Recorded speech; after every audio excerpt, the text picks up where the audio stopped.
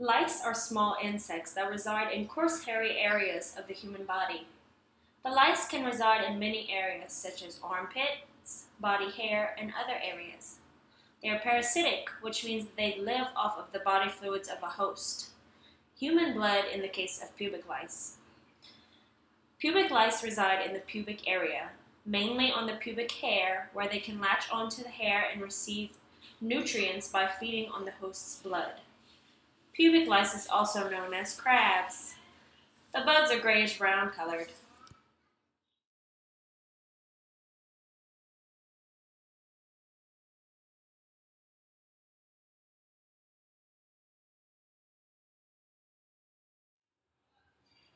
Pubic lice is caused by close contact and is spread most frequently through close sexual contact.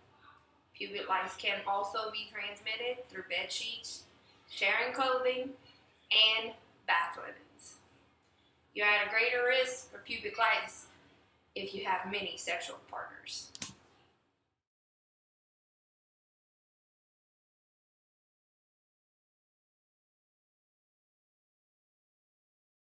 Symptoms.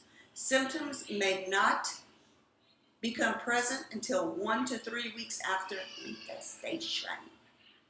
Some symptoms include intense itching in the pubic area, red bumps from bites, and blue spots on the skin.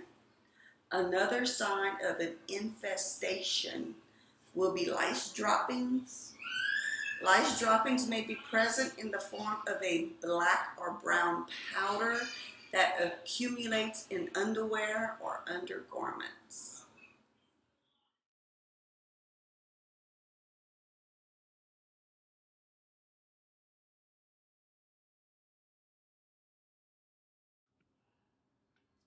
Over the counter med- medication usually takes care of the infestation of crabs in the pubic area.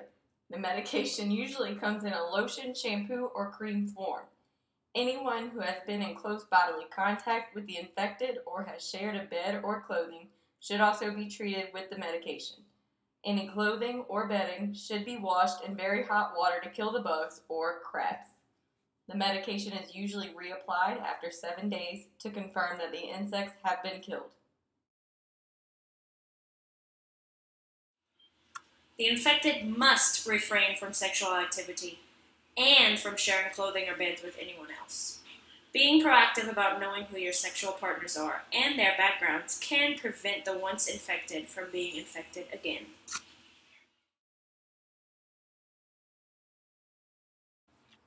Most commonly, crabs affect sexually active adults as well as adolescents. Pubic lice is most commonly diagnosed in teenagers. Crabs rank at the top for the most contagious STD. According to the Mayo Clinic, there is a 90% chance that a non-infected person will be infected if engaging in sexual intercourse with someone who is infected. 3 million people are treated for pubic lice yearly.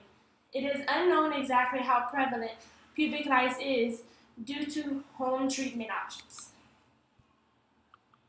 Go.